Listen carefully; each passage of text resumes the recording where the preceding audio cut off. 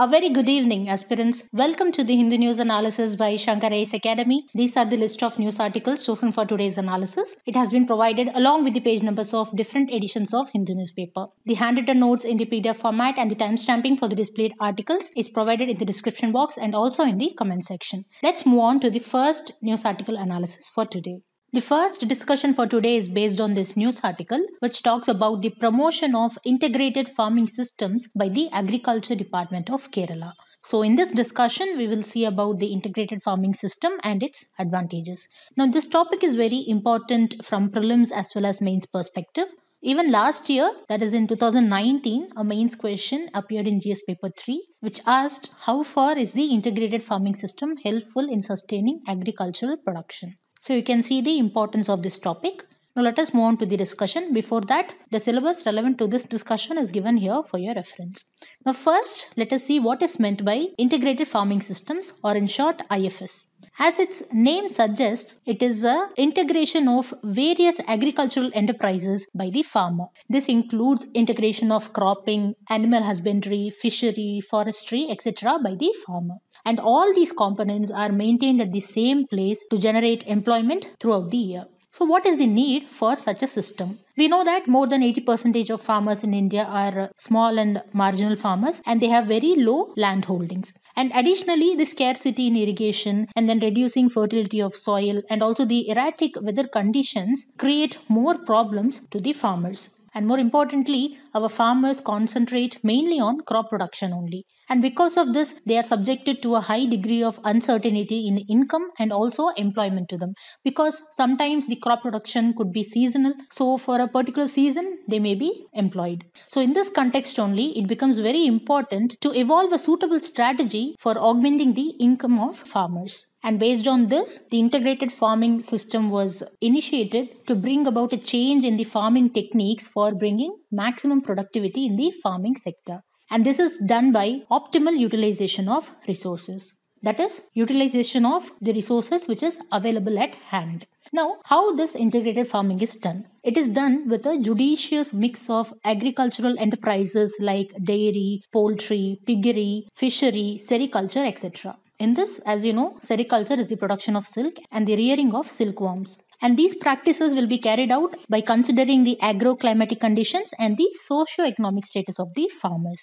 Now, in this mixing of agricultural enterprises, you should note that the crops, livestock, birds, and trees are the major components. And here the crop may have subsystems like monocrop, a mixed crop or intercrop, then multi-tier crops of uh, cereals, pulses, oil seeds, forage, etc.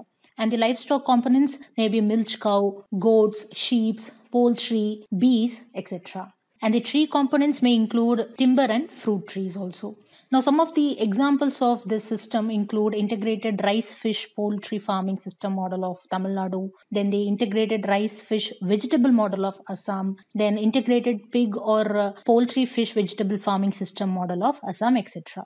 So, what are the advantages of integrated farming system? The main advantage is that it will help to increase food production to equate the demand of the rapidly increasing population of our country. Then it also helps to reduce soil erosion when the IFS techniques are used properly. Then the integrated farming will also help in environmental protection through effective recycling of waste from the animal activities like piggery, poultry, and pigeon rearing. So, this in turn will reduce the usage of chemical fertilizers to a greater extent.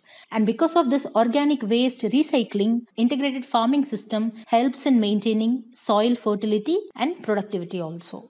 So, overall, this system helps in achieving the National Mission for Sustainable Agriculture, which is nothing but the eight missions outlined in the National Action Plan on Climate Change of Government of India. And according to experts, inclusion of biogas and agroforestry in the integrated farming system will solve the future energy crisis also. Here, just know that agroforestry is nothing but the agriculture incorporating the cultivation of trees as we already saw fruit bearing trees then uh, timber could be grown as part of this system. Now these are the common advantages of ifs now what are the advantages with respect to farmers? One major advantage is reduced production cost of components through the input recycling from the byproducts of allied enterprises. This means it helps in increasing farm income through proper residue recycling and allied components. We already saw about the recycling of waste and we saw how this uh, organic waste recycling will help to reduce usage of uh, chemical fertilizers and it will increase soil fertility and productivity. So this is one of the major advantages for the farmers. Then other than that farmers will also be able to get regular stable income through the production of products like uh, egg milk mushroom vegetables honey and silkworm cocoons etc because these productions can be carried out even when there is erratic rainfall damaging the crops. So in this scenario, farmers not only be depending on the crop production, they will also focus on producing these products, which will be another source of income for them. So overall, the system helps in generation of regular employment for the family members of the small and marginal farmers also. So based on these advantages, we can say that the integrated farming system helps in building a self-reliant India in terms of agriculture. And because of this only, the Agriculture Department of Kerala is going to promote the integrated farming systems. And it is expected that this move will help the small and marginal farmers in the state to use their land and resources in a better manner. And for this, the state government has also announced a project known as Jaivagraham project under the Rebuild Kerala initiative. And this project is going to bring the practice of integrated farming system in Kerala. And as per this project, farms under agriculture department in various districts will be developed as model farms by adopting high-tech and integrated farming methods. So following the footsteps of Kerala, even other states can initiate similar projects. With this, we come to the end of this discussion. In this discussion, we saw about the integrated farming systems and we saw its advantages, especially its advantages to the farmers. Let us move on to the next discussion. Moving on to the next discussion, which is based on this news article, it mentions that on 13th July, that is day before yesterday, the Ministry of Social Justice and Empowerment has once again released a draft Transgender Persons Protection of Rights Rules of 2020. Now, these new draft rules have been released with some modifications to the earlier released draft, which was released in April 2020. See here, you should note that in December 2019, the President of India gave assent to the Transgender Persons Protection of Rights Act of 2019, and this act came into force on 10th January 2020, as per Section 1 of this act. And this act recognizes the identity of transgender persons. It states that a person who is recognized as transgender shall have a right to self perceived gender identity. The Act also mentions that a transgender person may make an application to the district magistrate for issuing a certificate of identity as a transgender person. And this is the definition of transgender person according to this act. We have given here for your reference. And here you should note that a trans man or trans woman is recognized irrespective of the fact whether or not such person has undergone sex reassignment surgery or hormone therapy or laser therapy or such other therapy. Now, one of the positives of this act is that it provides for the governments to take wide range of welfare measures for transgender persons, such as it provides to take steps to secure full and effective uh, participation of transgender persons and their inclusion in society. And it also paves way for taking measures to promote and protect the right of transgender persons to participate in the cultural and recreational activities. So, in this aspect, we can understand this in one more dimension that is, in sports and other gender based competitions. In future, we can expect a new category as transgender category in the same way how men compete among themselves and how women compete among themselves. And even if you remember, in the beginning of this month, that is in the first week of July 2020, the Ministry of Home Affairs has proposed to the Central Armed Police Force to incorporate transgender as third gender. And this move of Ministry of Home Affairs is seen as a step to remove fear of stigmatization towards the transgender persons. Now, apart from this, know that the Act also provides for prohibition of discrimination against transgender persons. It provides that there should be no discrimination in employment and it also provides for establishing grievance redressal mechanism, then right to residence and other obligations. It also provides obligations related to education, social security and health of transgender persons. So for all these aspects, provisions have been made in this act. Now know that to redress the grievance of transgender persons and for other functions, it provides for the establishment of National Council for Transgender Persons. And the chairperson of this council will be the Union Minister of Social Justice and Empowerment. Now let us see the procedure for issue of certificate of identity as per the draft rules of 2020 which is the news today. See this draft rules released on 13 July has made some modifications with reference to the previous draft rules that was released in April 2020. The April 2020 draft rules created some confusions with respect to issuing certificate of identity by district magistrate. It stated that the magistrate shall issue the certificate of identity based on the application, the affidavit of the applicant, and the report of psychologist of a hospital of appropriate government. It also mentioned that the magistrate shall verify the correctness of the report of psychologist and the place of residence of the applicant. See, even though the draft rules stated that any medical examination is not required, there were some doubts related to this. And this doubt has been cleared by the recent draft rules. It mentions that the district magistrate, subject to the correctness of application, shall process the application based on the affidavit submitted by the applicant, but without any medical examination. And here note that in case of a person who was already issued a transgender identity certificate, if that person undergoes surgery to change gender either as a male or female, then in that case for issuing a revised gender certificate is required. This certificate is related to change of gender which is issued by the medical superintendent or chief medical officer of the medical institution in which the transgender person has undergone the surgery to change to another gender. So that is all about this discussion. In this discussion, we saw about the Transgender Persons Protection of Rights Act of 2019, and we also saw about the draft rules which has been released based on this act. And we saw that these draft rules does not mandate any medical examination for issuance of certificate of identity to transgender persons. With this, we come to the end of this discussion. That is moving on to the next discussion. This news article mentions that the members of Pagalkodu Mund Eco Development Committee in the Nilgiris of Tamil Nadu have removed an invasive species in more than 2 hectares. That invasive species is Cestrum nocturnum plants and they have removed it to save the shola and native grasslands of Nilgiris. So in this analysis, we will see about this Cestrum nocturnum plants. We will see about the Eco Development Committee and also about the Joint Forest Management and Joint Forest Management Committee. The syllabus relevant to this discussion is given here for your reference. See, first and foremost, know that National Forest Policy of 1988 envisaged joint forest management. Here you can see few provisions of the policy which mentions about the involvement of local people. Like it mentions that the regulation of grazing in forest areas should be done with the involvement of the community. So like this, these provisions paved way for joint forest management. So what is it? It is an approach and program wherein state forest departments support the local forest dwelling communities and forest fringe communities for two main purposes. First purpose is to protect and manage forests, then for sharing the costs and benefits from the forests with the communities. And in turn, the communities organize themselves into a JFM committee to protect and manage the nearby forests and know that they are guided by locally prepared bylaws and micro plans that is some small plans.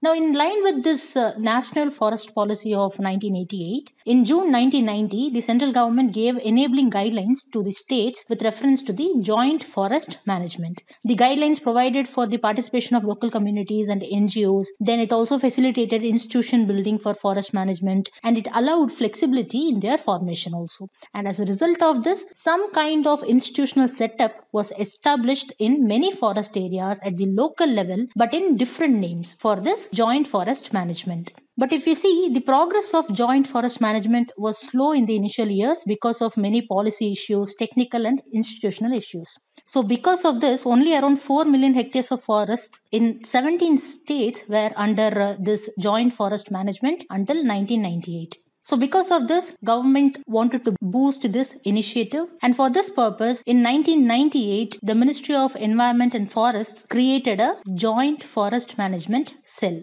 This cell was established to monitor the progress of JFM and also to act as a clearing house for information on the joint forest management. And further, in February 2000, the ministry also issued another set of guidelines related to the joint forest management. And these guidelines necessitated all the state governments to register such committees for the joint forest management under the Societies Registration Act of 1860.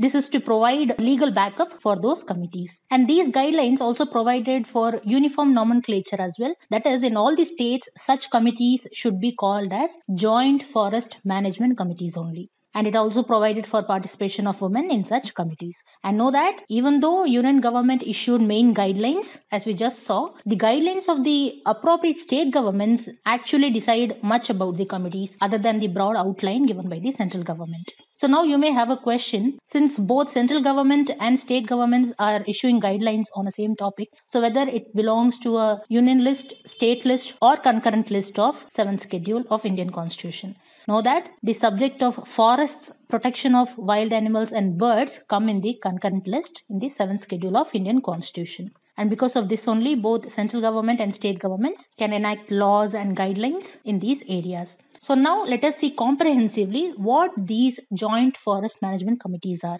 It is a local institution of forest dwelling communities and forest fringe dwelling communities, which is democratic, decentralized, and transparent. And the main function of this committee is to ensure people's involvement in the development and protection of forests. Now, these committees are set up as per the provisions of applicable uh, JFM rules or guidelines of the state government. Remember this and know that these committees are either fully part of Gram Sabha or partially part of Gram Sabha. And normally there is one JFMC in one revenue village. But however, in special situations like historical collaboration with the neighboring villages or uh, where it does not make sense to divide the forest, a JFMC may cover two or more villages also. And on the other side, you should also remember that, especially in tribal areas, there may be situations where one village may have several dispersed hamlets. So, in such areas, JFMCs may be set up at sub revenue village level or hamlet level also. So this is the basic about joint forest management committees. Now what is this eco development committee? An eco development committee is similar to JFMCs but it is meant for villages in protected areas and their buffer zones.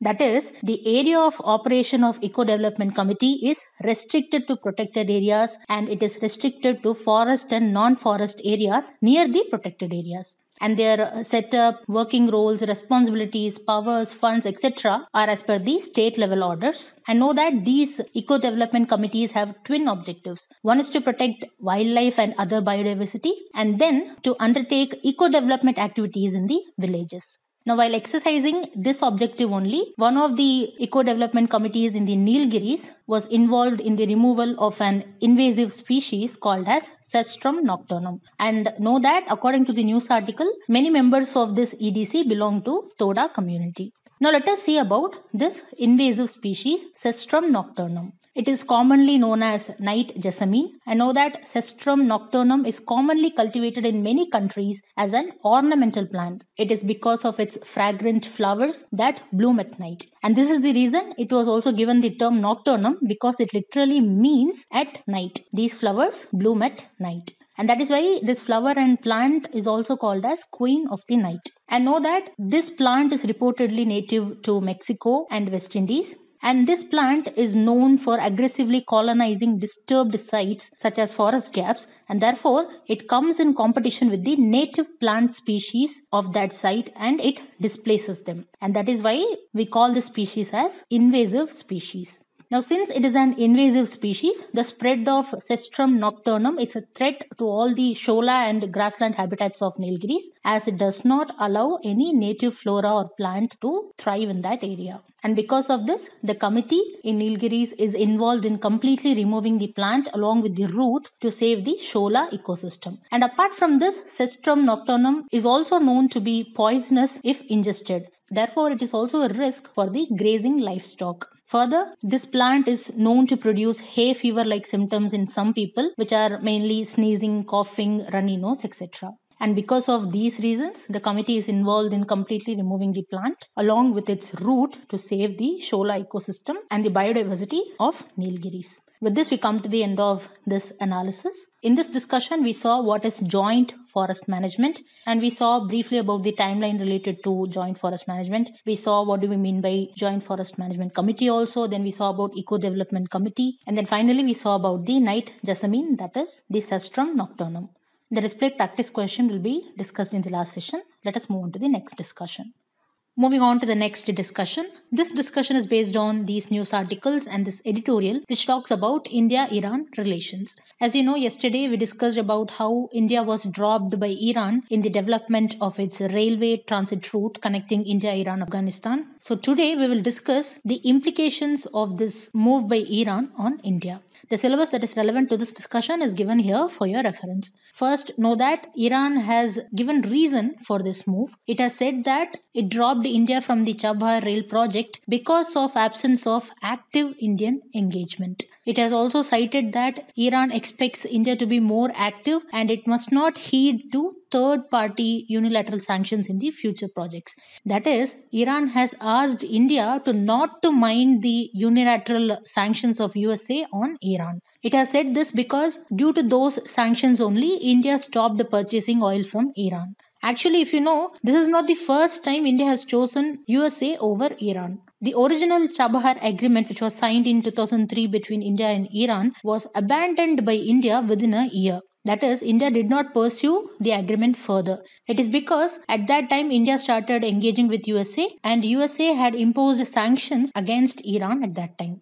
So the same scenario happened and we sided with USA at that time. Now, after this 2003 agreement, in 2016, the Indian Prime Minister went to Iran and agreed on a trilateral track with Iran and Afghanistan. And according to this 2016 agreement, India was to develop Chabahar and then we would go forward with building a railway network and road networks. This strategic plan was to make India a potential role player in the Eurasian scenario. And that is why this project was hailed as a major trilateral project that would give India access to Afghanistan, bypassing Pakistan. But what again happened? We again sided with USA to satisfy the US administration, and India delayed its development works in Iran. And because of this, India was dropped by Iran, citing delay in the proposed funding. Now, by losing a strategic opportunity to build relationship with Iran, India has lost a very good opportunity to establish critical linkages with the Middle East and with Eurasia. And more importantly, this has given an impression that India had succumbed due to US pressure, and this has raised many questions on India's commitment to its strategic autonomy. And further, we are living in a world where connectivity is seen as the new currency. And now India has lost this new currency.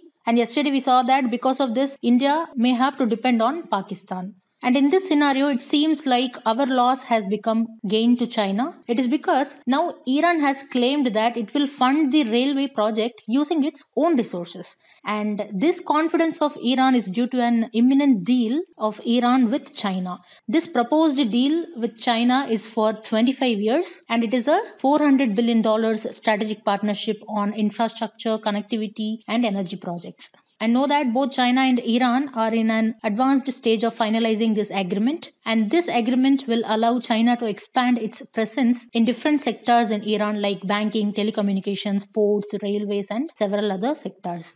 And in return, China will get heavily discounted oil for 25 years. And at the same time iran will also be beneficial because already iran is suffering from economic sanctions followed by decline in oil prices and reduction of exports due to pandemic. And now this agreement with china if it is finalized it could be an economic lifeline for iran other than this, China is also having another advantage, which is it could enhance its strategic influence in the region because so far US has built a strong presence since the Second World War in that region.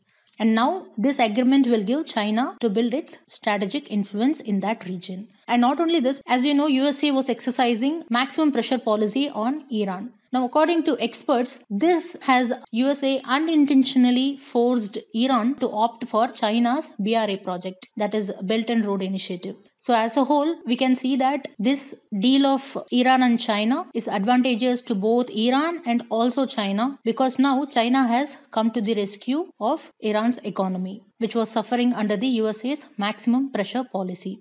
So the ongoing Cold War like scenario between USA and China has impacted India and because of this we have lost the Chabahar project and our gateway to Afghanistan. But you should note that here not only India has made a mistake but Iran also committed certain mistakes in the recent past and because of that India Iran relations were disturbed. Because if you remember, when anti-CAA protests was ongoing in India, Iran condemned and took a very hard stand against India regarding the Citizenship Amendment Act and Delhi riots. And this move of iran did not please indian government. And after that now because of pandemic all the economies are disturbed and india could not focus on the chabahar project. Now all of this together has caused a major loss to india by which china is going to gain so, as a conclusion, we can say that India should be very proactive regarding the new happenings as a result of the move of Iran. That is all about this discussion. In this discussion, we saw about the implications on India due to the recent move of Iran. With this, we come to the end of this discussion. The display practice question will be discussed in the last session. Moving on to the next discussion based on this news article, it mentions that the former president of Maldives has appreciated Maldives' relationship with India. See, as you know, India is in a situation where we are losing relations with neighboring countries. Even in today's one of our discussions, we saw about India's deteriorating relationship with Iran. So, at this time, the comment of former president of Maldives is a relief for India. He has noted that Maldives cannot grow or develop further if they abandon their ties with India. He has noted this because only recently government of India has handed over outdoor fitness equipment for 61 islands across Maldives. And India has done this as part of India's cash grant and development projects initiative, which are being executed in Maldives. And know that this initiative is worth approximately 200 million Maldivian rufiyaa. Now, based on the continuous support from India in the form of uh, financial assistance, he has also urged the current elected Maldivian leaders to develop a strong relationship with India. See, you should note that India and Maldives are traditionally close, and the bilateral relationship between Maldives and India have been strengthened and deepened since November 2018. Because in November 2018, the current president of Maldives, Mr. Ibrahim Mohammed Solih, assumed office as president of Maldives. And since then, it is stated that the policy of the government of Maldives is India first. So, in this context, let us see some facts about Maldives. Maldives is a group of islands in the Indian Ocean. It consists of uh, atolls, coral reefs, and low lying coral islands. So in this, know that atolls are almost circular groups of coral islets, as you can see in this picture. And islet is nothing but a very, very small island. And know that atoll is also called as an island formed by a ring shaped coral reef that encircles a lagoon. A lagoon is a shallow body of water, as you know, which is separated from a large body of water by coral reefs. Now here, additionally know that atoll that we use in geography is borrowed from the Maldivian term atollu. I know that there are 22 geographical atolls in Maldives. They consist of close to 1200 islands. And out of these 1200 islands, only 200 islands are inhabited by people. And the rest of the islands are used mainly for tourism purposes. I know that fishing and tourism are the main industries of Maldives. And with respect to India, geographically, Maldives is situated southwest of mainland India. And another important fact is that the Lakshadweep island group of India and the Maldives are separated by the 8 degree channel. That is, they are separated by the 8 degree north latitude. And in particular, know that the 8 degree channel separates Minicoy Island of Lakshadweep group and Maldives. And know that Lakshadweep group of islands are north of Maldives. And if you observe this uh, image, you can see that equator passes through the territory of Maldives. But know that the equator does not pass through the land part of Maldives, but it passes through the territorial waters of Maldives. And from exam perspective, know that Maldives is a member of SAARC nations, but it is not a member of BIMSTEC because it is not a littoral country of Bay of Bengal. Now, if you look at this question, this is based on the topic which we just discussed. And the question has been framed based on a 2017 question which asked which of the following geographically closest to Great Nicobar? And the correct answer is Sumatra for that question. Now today's question is which of the following Indian island is geographically closest to Maldives? And now only we saw that Lakshadweep Islands is north of Maldives. But in this you, you can see two Lakshadweep Islands. One is Minicoy and the other one is Kavaratti. And know that Minicoy has close affinity with the islands of Maldives. Even the language of Minicoy is Divehi, but the other islands of uh, Lakshadweep they speak Malayalam. This is important because the language spoken by Maldivian people is Divehi only. So this shows the close relationship between the people of Minicoy Island and the people of Maldivian Islands. And know that Minicoy is the second largest island of Lakshadweep and it is the southernmost island of Lakshadweep. So the correct answer is option B, Minicoy Island. Now let us take the practice questions that were displayed during the news article discussion sessions. Now this question is based on Toda tribal group. The first statement is they are included in the list of particularly vulnerable tribal groups. This is a correct statement. Toda tribal community from the state of Tamil Nadu have been included in the PVTG's list. Now the second statement is their handicraft work called as Toda embroidery is a registered geographical indication under the Geographical Indications of Goods Registration and Protection Act of 1999. Now this statement is correct because the Toda embroidery of the Toda tribal community from the state of Tamil Nadu received geographical indication tag in 2013 and the registration is valid up to 2028 and know that one of its interesting feature is that this embroidery is reversible so one can use it both sides. Now here the question asks for the correct statements and both the statements are correct. So the correct answer is option c both 1 and 2 now this next question is based on transgender persons protection of rights act of 2019 Two statements are given. The first statement is the Act prescribes that the National Council for Transgender Persons shall investigate into complaints filed by transgenders, and the orders of the Council are binding on the appropriate governments and persons concerned. Now, this statement is incorrect because the Act only mentions that one of the functions of the Council is to redress the grievances of transgender persons. It does not provide for any provision on the investigation of the complaints, and even the recently released draft rules also does not have such provisions. So this statement is incorrect. Now the second statement is the chairperson of the council must be a transgender person with knowledge or experience in the rights of transgender persons. Now, this statement is also incorrect because, according to the Act, among the members of the Council, five representatives will be from transgender community and they will be appointed by rotation from the state governments and, and union territories and they will be nominated by the central government as members. But the Act does not mention that the chairperson or the vice chairperson should be a transgender individual. So, this statement is also incorrect. Now, here additionally know that the Council will have five experts who will be nominated by the central government to represent non governmental organizations or associations who are working for the welfare of transgender persons. And the chairperson of this council is the Union Minister of Social Justice and Empowerment. And the vice chairperson is the Minister of State who is in charge of the Ministry of Social Justice and Empowerment in the government. So here both the statements are incorrect and here be careful because the question asks for the correct statements and both the statements are incorrect so the correct answer is option D neither 1 nor 2. Let us take one mains question based on GS paper 2. The question asks In what ways would the recent action of Iran dropping India from the Chabahar rail project affect the strategic interest of India? How should India respond to its situation? Based on today's and yesterday's discussion, you have to write answer for this question. After writing, you can post it in the comment section. We will review it and appropriate suggestion will be provided for improving your answers within a reasonable time frame.